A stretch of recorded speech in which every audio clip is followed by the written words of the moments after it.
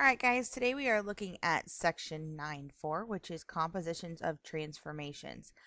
A composition of transformations is simply when we have multiple transformations put together.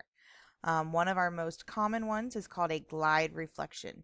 A glide reflection is where you translate or you glide it over first and then you reflect it over a line. So let's take a look at our example over here to the right is if I look at this glide reflection, I am translating it along vector v, so it slides the same distance as v, and then I am reflecting it over line L. So this is kind of the midway um, piece, and then this is where we end up. So we're going to end up from JKL doing the glide, then reflection to get J prime, K prime, L prime. Um, also, what you may see sometimes, and I'll show you again later, is using double prime. So if you label this one as J prime, K prime, L prime, then you could use double primes, which would look like this um, in order to help you determine because sometimes it's easier as you're doing multiple transformations to keep track of your transformations along the way by giving them the same letters. Um, so what you can do is just add multiple primes for multiple transformations. Okay, anytime we have more than one isometry, our final transformation is still an isometry, meaning if you never change the size or shape of the figure, then your final figure is going to be the same size and shape as your initial figure. So, um, when we take a look at example one, so with example one, we're going to draw our glide reflection here. We want to, well, actually, we're going to do a reflect and then a glide. Okay, so we want to reflect it over the line first, and then we're going to translate it along vector v. So remember that when we are um, reflecting over a line, I want to attempt to make line L that perpendicular bisector. So I'm going to go ahead and label that point as B prime here. Actually, let me move that a little bit. Okay, so this point here is going to be B prime. Then I'm going to repeat here. I want, I'm going, okay, so it's about this distance to the line. I want to try and match that on the other side so that I can get my A prime. And then again, we're going to repeat that from C to the line. And we want to go about the same distance again from the other side. So right about here is my C prime. Because this is not my final image, I am going to go ahead and dot it. So that way I know that this is not done yet. Then the next thing that I want to do is I want to reflect it, or excuse me, translate it along this vector right here for V. So I am going to take my vector, and again, you guys can use that piece of paper trick that I showed you in class, where you trace the vector with your piece of scratch paper, then flip that over and draw pencil on the back and then flip your paper back over and try and line it up. Um, so I can have the ability here to just slide this vector around, but you should be doing that um, piece of paper trick that I showed you in class. Okay, so this is going to be from here. I'm moving my B here. So this is B double prime. This is what I was kind of just talking about. Then I'm going to take my vector and I'm going to slide it over here to C. So now that this is going to be C double prime.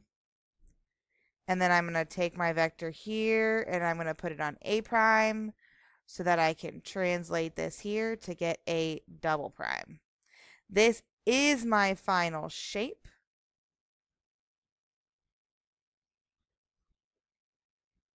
And sometimes it's also nice to just kind of color it in.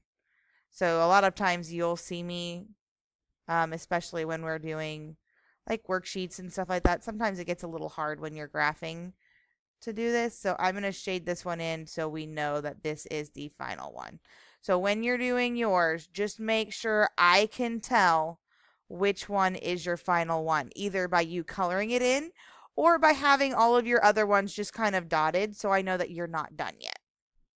Okay, if you have any questions on that, go ahead and copy it onto your note-taking guides now. Okay, so now we're going to take a look at what happens when we have um uh our we're doing our multiple transformations here on a coordinate plane. Sorry. Okay, so the first thing that I'm going to do is I want to rotate it 90 degrees and then we're going to reflect across the y. So when I think back about my rotations, the first thing that I want to remember is what was my rotation um, rule. So my rotation rule was xy is going to map onto. So for rotating 90 degrees, that mapped onto negative y comma x. So the first thing that I'm going to do is I'm going to write my original ordered pairs. R is at 1, 2. S is at 1, 4. And T is at negative 3, 4. So then when I am rotating it, R prime, S prime, and T prime, I switch my values and I'm negating that Y. So this becomes negative 2, 1, negative 4, 1, and negative 4, negative 3. So I'm going to go ahead and plot that now. So negative 2, positive 1. So this is R prime.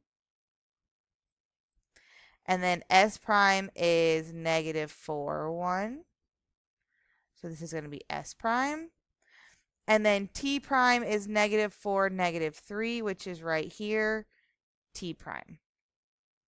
So again, because this is not my final transformation, I'm just going to go ahead and dot this triangle.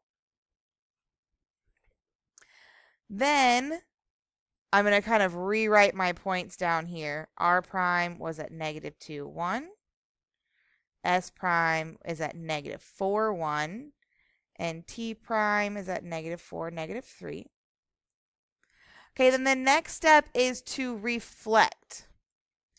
I am reflecting it across the y-axis. So my reflection rule for the y is that xy is going to map on to negative x comma y.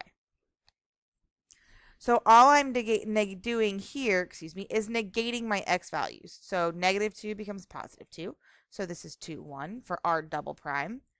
S double prime is going to be 4, 1. And t double prime is going to be 4, negative 3. All right, so then we're going to go ahead and graph that. So we have 2, 1 here for r double prime. And then we have 4, 1 is going to be our s double prime. And then 4, negative 3 is our t double prime.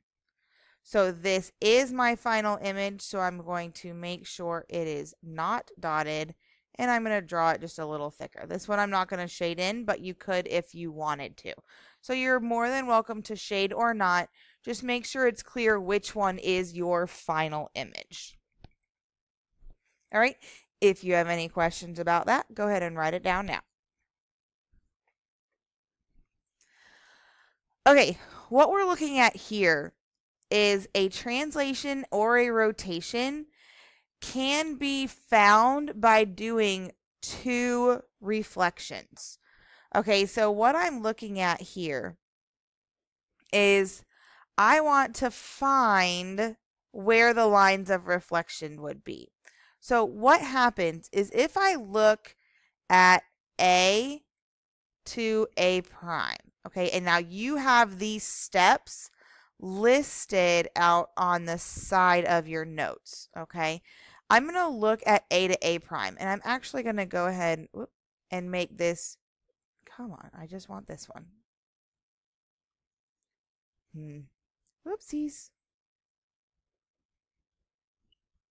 Try and grabbing the right thing here.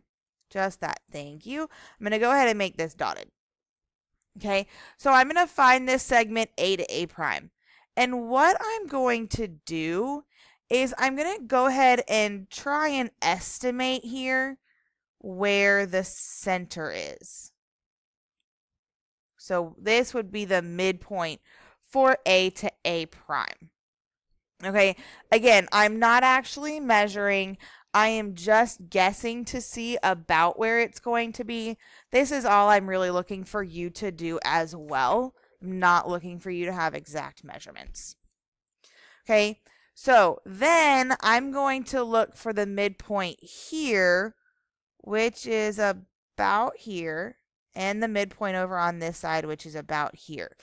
So what I'm going to do from there is draw those two lines here. Oop, little crooked. And here. And miss the dot. So let me get those kind of fixed a little bit here. Shimmy that over. And shimmy that over. Okay, so what happens is if I take this triangle here, ABC, and I reflect it over this line, it's going to look about like this. Okay, again, I'm sketching. I'm not even really looking really hard at it. Okay, but it'll look about like this. Then, let's see if I can get that a little better. Okay, here, it's actually to, should be about here and here and here and here. Okay, so this is about where my reflection for ABC is going to be. Then if I reflect that again over this line, I end up at A prime, B prime, C prime.